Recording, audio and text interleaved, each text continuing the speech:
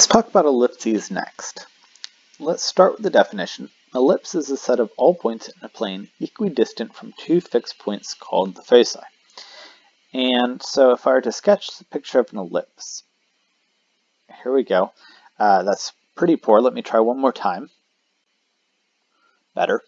Uh, we would have two points in here, and these would be called the foci, plural of focus, and you may also see that pronounced foci, foci or foci. And these two points uh, are what drive this ellipse, or they're what create it. So almost think about you know taking two pegs and sticking them in a pegboard, and then loosely tie a string ar around that peg. So if I were to push my my pencil to the edge of that string, it's only going to allow me to ever travel so far away from that those two central pegs. Uh, and that's this idea. It's, we're always staying the same distance away. So if I were to look at this point right here, this distance plus this distance would be equal to, if I took this point right here, this distance plus this larger distance. So I'm not saying I have the, the focal points exactly right, but it's this idea that, hey, I'm starting with these two central pegs, loosely tie that piece of string around it, and then push to the edge of that string, and that's going to allow us to create that, that ellipse. That is what's going on. Let's talk about some of the key characteristics that this ellipse has. Let me draw a new ellipse. We've already talked about the focal points or the foci, foci, call it F1, F2. Now in the very center is a point called the center. That's in the very middle. Uh, and then these points over here, the sharper turns, call those the vertices. Now some books will label kind of a major vertex and a, a, minor vertex. These points right here, I don't call those the vertices. Uh, they don't really, they are providing a change in direction, but I, I label the, the points along my uh, longer direction, my vertices. Now this longer direction has a name. This blue line right here is what is called the major axis. The major axis is a line segment uh, connect, um, connecting the vertices.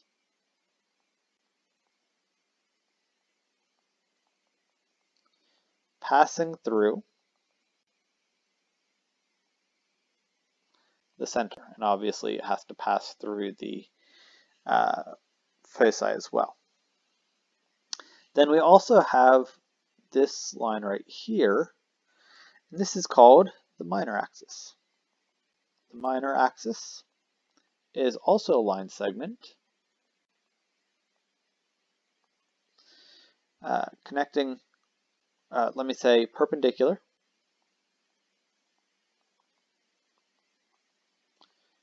To the major axis. With endpoints on the ellipse that passes through center.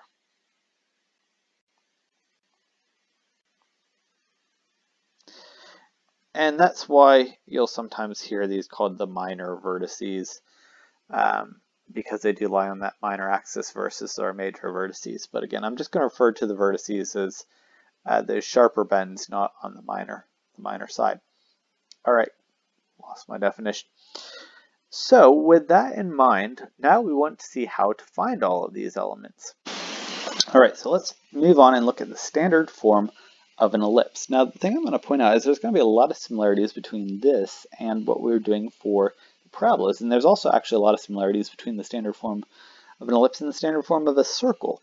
And like I talked about in that introductory video, they're all related through the idea they're all sections of cones. They're all just slices of cones.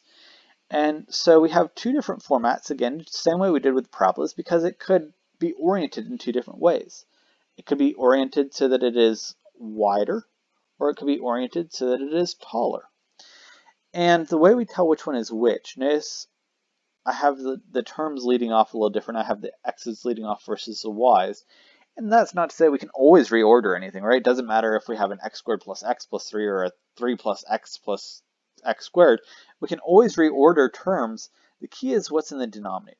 So whatever's in the denominator is telling us which way it's going to be oriented. The larger element is always going to drive that to be the longer side. So if the larger element's under the x, it's going to be longer on the x-axis, it's going to be longer, wider. The a, the larger value is under the y, it's going to be longer along the vertical axis or taller. Uh, and so that's how we can tell whether it's going to be taller or long. But again, similar to the, the in that we have these two different equations. Another big similarity is the h and the k. Now with a parabola, we called it the vertex. There's no center to a parabola because it goes on infinitely. But if we think about what that center point of the, the vertex is, it's kind of equivalent to the, the vertex. Uh, here we do call it the center because we do have a center that is different than the vertex. And that's true in both cases. The center is going to be the point hk. To compare it to another conic section that you already know, a circle. Remember circles had the form x minus h squared plus y minus k squared equals r squared. Again, the center was this point hk. Now, a little different because we had this r squared, and the reason for that, with ellipses, they're longer or they're taller, and that's driven by the difference in the a and the b. The a and the b are going to tell me how to count from that center point, left, right, up, down. With the circle, we didn't have to distinguish two different. We didn't have a denominator because it was they were the same. The, the denominator would be the same. So we just set it equal to that, that number. We called that the radius. Uh, because all elements were the same, we always were the same amount away from the center. So that's the difference between an ellipse and a circle. But that a and that b are very important numbers. The a gives me the distance left, right, up, and down, depending on which one they're under. So notice here the A is under the X. The A is going to be the different the distance to the, the vertices, left and right, versus on this one, the A is still the distance to the vertex, but now it's counting up and down. The B is under the X, so that's going to be how much it is left and right. So those A and B numbers are very intuitive with the ellipse. They tell me literally how much to count from the center to get to the edges of the circle and they're attached to the uh, variable or the axis we need to count along. So the a's are attached to the x's versus the a's are attached to the y's. And so the vertices, remember I just distinguished the major axis vertices. Uh, if it's opening, or if it's, I should say, wider, the a is counting left and right, so we would add, subtract that a to the h. And then for the uh, ellipse that is up and down, we would have to add subtract that to the k. Notice in both cases we're adding the a's there because the a is always a larger number. Also notice one other thing about the equation, kind of like when we pull the centers out as the opposite hk, we have to change the signs. Here the a and the b are squared in the equation, but when we pull them out, we are just using the a and b, not whatever the squared is. So we'll see examples of this, but for instance, if we had a 16 in the denominator, we would use a 4 here. Uh, next thing that we want to be able to find are the foci or the foci, the focal points. And that's going to require another calculation. It's going to require a value called the c. And the way we find c is a squared minus b squared. And so there's another c, a, b, c squared equation we're very comfortable with, which is the Pythagorean theorem, a squared plus b squared equals c squared. Notice that is not what we have said here. c squared equals a squared minus b squared. And the reason for that, that C is occurring inside of the ellipse. I've made my triangles really, or my uh, ellipses really messy here. But these kind of darker X's here, these would be my focal points. They're inside the ellipse, and so we're gonna we can't go larger than the A and the B. It's gonna have to occur inside. It is looking a lot like the Pythagorean theorem. I'm not gonna get into how to derive that the, the C in this video. It's looking a lot like it because it does rely on the Pythagorean theorem. It's just that C is actually one of the sides that's not the hypotenuse. A is the longest side, that is your hypotenuse. And so we've kind of reversed engineered this to find, find the C. What's going to make this even more confusing too, I'll, I'll go and warn you. Hyperbolas, we're also going to rely on the C for the focus. Uh, it's going to be a very similar equation, but for the hyperbola is actually going to be the plus. So I'll talk more about this in that video, but we do need to make sure we're getting the C's right. Uh, the C is always going to have to occur inside the hyperbola. If you get a larger C value to where your C is occurring outside, clearly you've done something wrong. Go back and check your sign. Uh, you're using the opposite sign from the equation itself. And so to get to the focus, right, we're still starting at the center, and we're counting by that C amount left and right to get to the focus from the uh, center. So I'm going to start at my point H, I'm going to add subtract the C, K is going to remain unchanged. If it's opening up and down, that C is still getting me up and down to the focus, but this time we're changing the K coordinate. Uh, finally, the major axis length we can define as 2a. The minor axis length, axis length is 2b. And notice I've written that across both of them. That's not going to change because a we've always said is a larger number, so that's giving me the longer axis. So let's take an example where we find all the different elements. Let's take uh, y minus 1 squared over 9 plus x plus 3 squared over uh, 4 equals 1. So this one's been given to us nicely in the uh, standard form. So I'm just going to start picking out my information. Now the first thing I'm going to do, same as I did with my parabolas, is I'm going to sketch my picture just to get a frame of reference of which way it's going. You can see the larger denominator occurs under the y. Does mean it needs to be taller.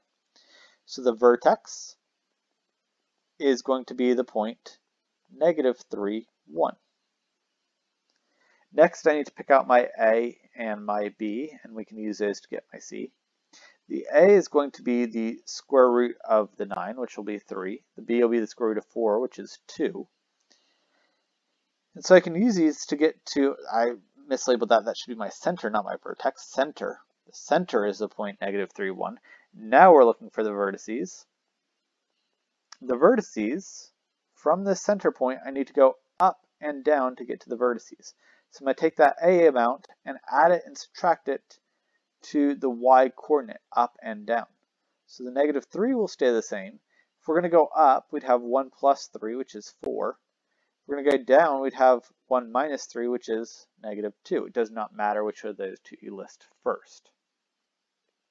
So we have our center, we have our vertices.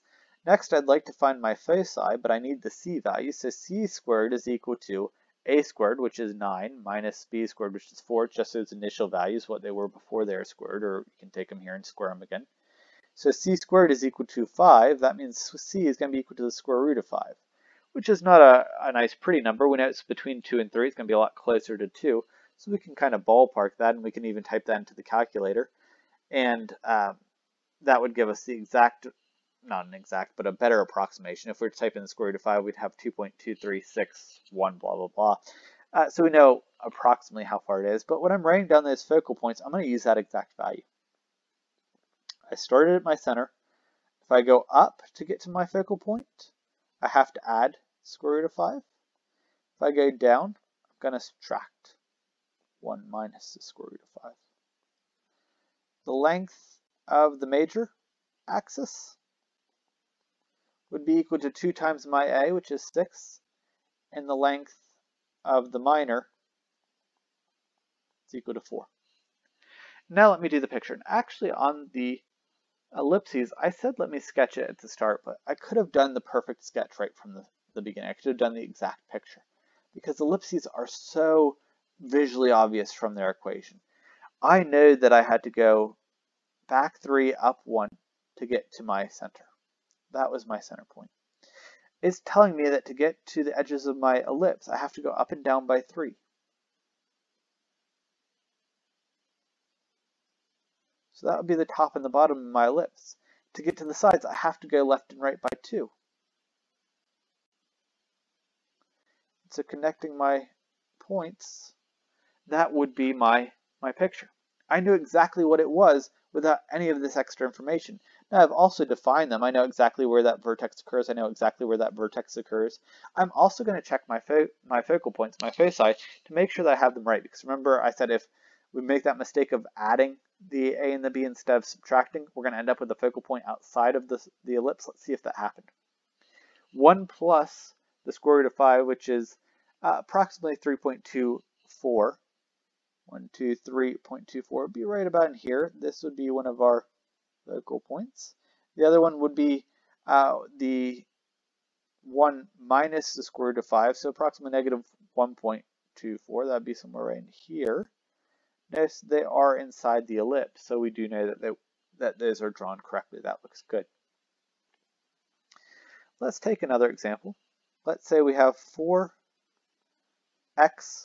minus, uh, 1 squared plus y plus 3 squared equals 1.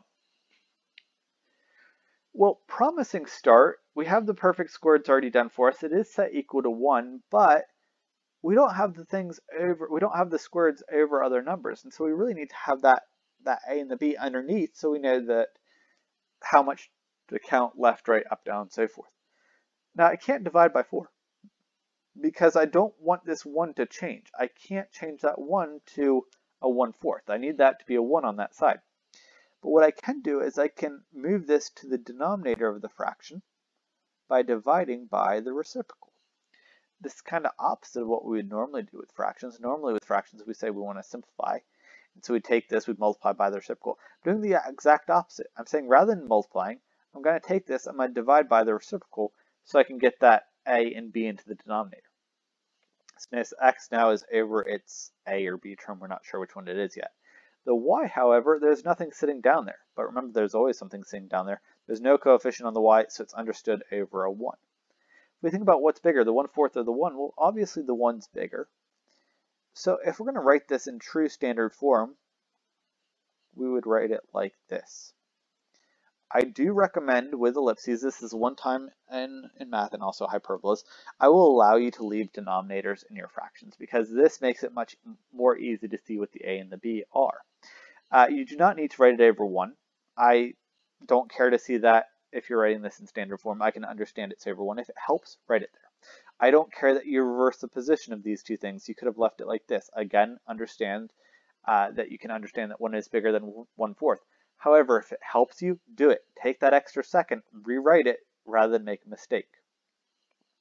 So as we said in the last example, I can go ahead and get the perfect picture. I know exactly what this is going to look like.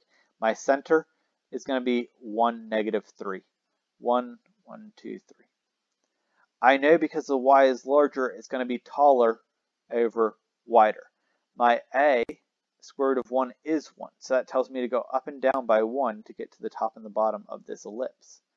My b, the square root of 1 fourth, is 1 half. So that tells me to go a half of a unit left and right to get to the edges of my ellipse. So very small units, but we can see that it is just a little bit taller than it is uh, wide, and I exaggerated a little bit there.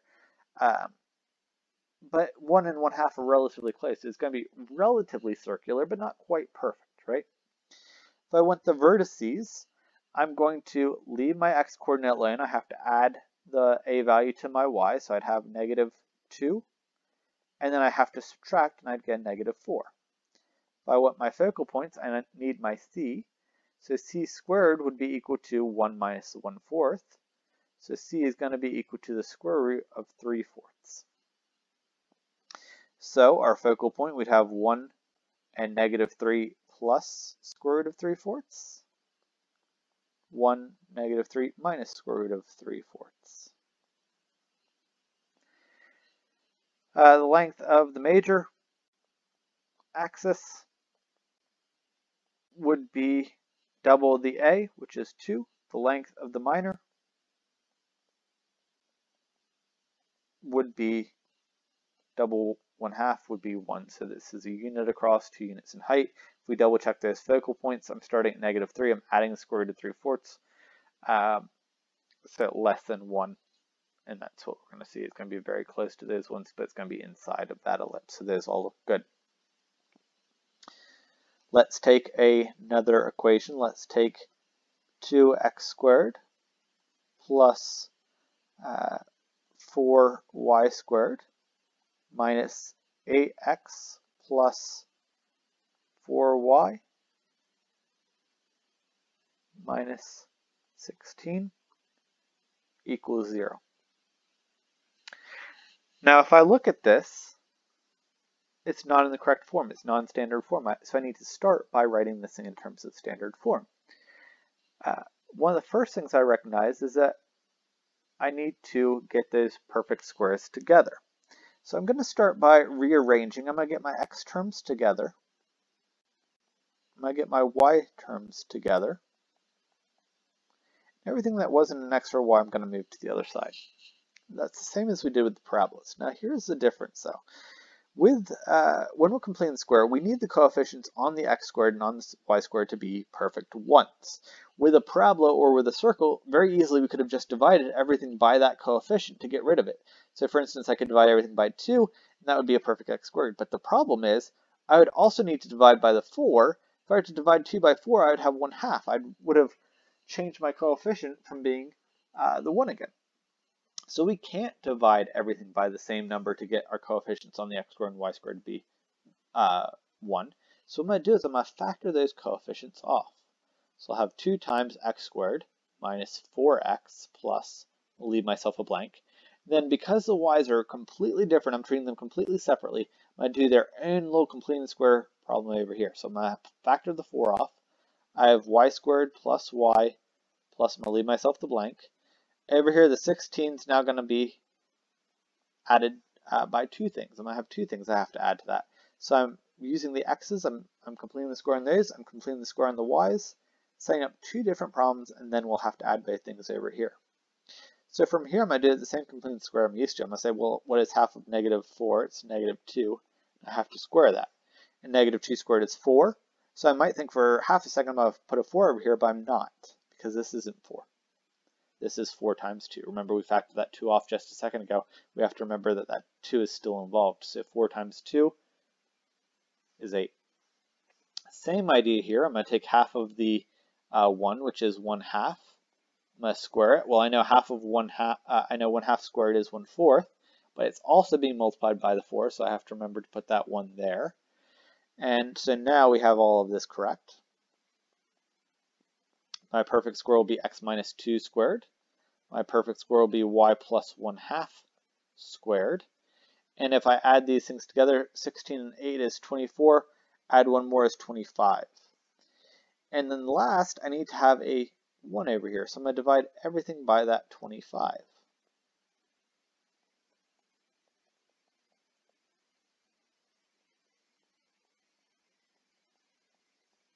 And now I have it equal to 1. I still have the problem that it's not purely x squared over a number, y squared over a number. It is uh, a coefficient on those. So the same trick I used in that last example, I'm going to move these back down to the denominator by dividing by the reciprocal. And so we'd have 25 halves and 25 fourths. So kind of ugly numbers again, but it's fine. We, we take what we're given and we're going to figure out what this thing looks like. We'll figure out all of its center, vertices, all that sort of thing. So the center, very easy, 2, negative 1 half, relatively clean numbers there. Negative 1 half. Uh, that's going to be our center. For our vertices, we need to decide which of these two numbers is larger, and that is the 25 halves. Obviously, dividing 25 by a smaller number is going to be bigger than 25 divided by the 4. So the a is going to be equal to the square root of 25 halves. The b would be equal to the square root of 25 fourths. Now the first one cleans up very nicely. Sorry, the, the first one does not clean up very nicely. Uh, 5 over the square root of 2 versus the second one cleans up very nicely, be 5 halves. Um, if we wanted to rationalize the a, we could. I don't really care that you rationalize um, for for my work. If if a problem is asking for it, make sure that you do but I'm just going to leave it as uh, 5 square root of 2. 5 over the square root of 2. So if we were to approximate that, that would be approximately 3 and 3.54. Uh, again, we see it's a little bit bigger than the 2.5 there. Uh, but that'll be more useful when it comes time to graphing because we could say, hey, we need to go up and down. Sorry, we need to go left and right. That's attached to the x by 3.5 units approximately. 1, 2, 3 and a half. That'll be one of our vertices.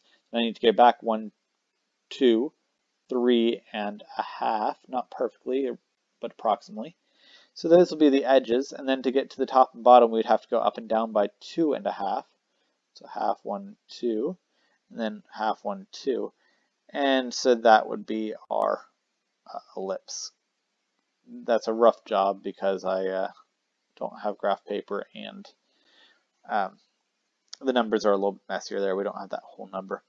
So our vertices, we took 2 and we added the 5 over root 2. We left the y the same. And we also took the 2, we subtracted the 5 over the root 2. The foci, I still need to figure those out, so I need to figure out my c. My c squared would be equal to my a minus my b. So I need a common denominator, which will be the fourths, 50 fourths minus 25 fourths. And that will give me 25 fourths. So our c will also be equal to 5 over 2, happens to be the same as the b.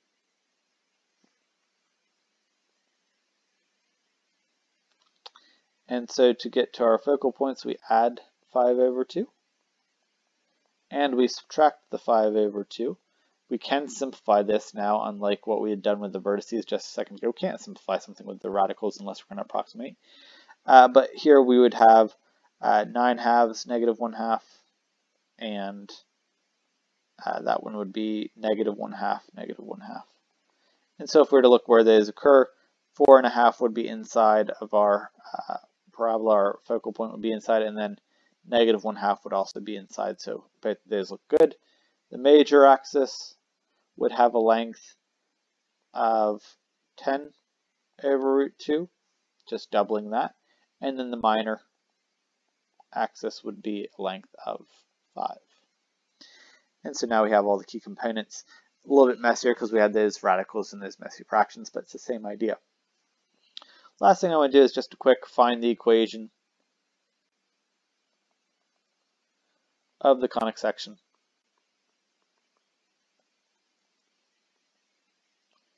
Given uh, vertices of 1, 2, 5, 2, and a minor axis of length 1. Now, with uh, the parabolas, there's relatively little information that could be given. There is the vertex, there was the directrix, there was the focal point. There could be just points along the curve as well. With uh, our ellipses, there can be a lot more given. Now, how do I know this is actually an ellipse? Because it says a conic section. Says minor axis. The only conic section that has a minor axis is the ellipse. I know we haven't talked about hyperbolas yet, but uh, major minor axes are unique to the ellipse. The other thing unique to ellipses is they have two vertices, two focal points, and the foci are always contained inside the shape. Circles don't have fo foci. It's the same as the center. They don't have uh, vertices. Every point is the same amount of bend. Uh, hyperbolas, the focal points are outside of the vertices. So those are kind of some of the key characteristics. We'll talk more about hyperbolas in the next video. So I know that this is a uh, an ellipse. That's the first thing to realize. And the next thing I'm going to do is I'm going to sketch a picture because we've done that time and time again. So my vertices 1, 2, and 5, 2. So that tells me it has to be opening left and right. I also know that this distance across is equal to a 1.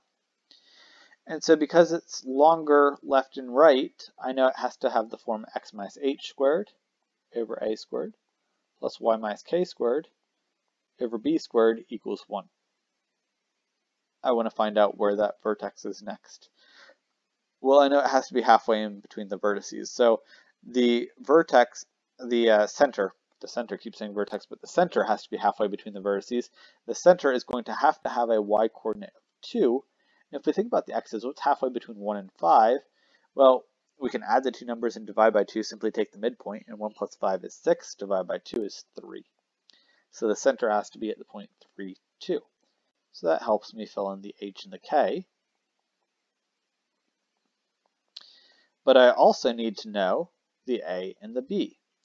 Well, the A stems from how far we have to travel from the center to get to one of those vertices. We just found that center was at 3.